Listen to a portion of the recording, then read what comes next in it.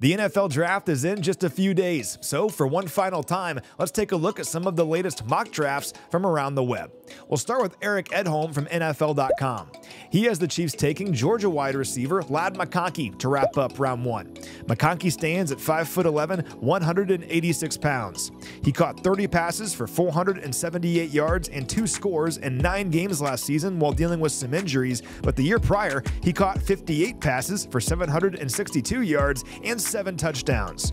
He has good speed. He ran a 4.39 at the combine, and he's considered one of the best route runners in this year's class with elite shiftiness. He's also versatile in terms of where he can line up. He has experience lining up both outside and in the slot, so McConkey could make some sense. Next, how about Dane Brugler from The Athletic? He has the Chiefs taking Texas wide receiver Adonai Mitchell in round one. Mitchell had 55 catches for 845 yards and a Big 12 most 11 touchdowns last year.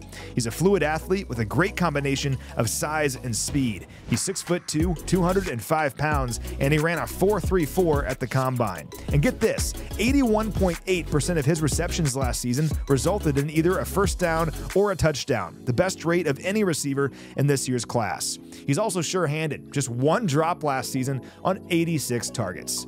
We'll wrap up with Pete Prisco from CBS Sports. He has the Chiefs going defense in round one, taking Clemson corner Nate Wiggins. Wiggins has elite speed. He ran a 4.28 at the combine, the second best time of any player there, behind only Xavier Worthy.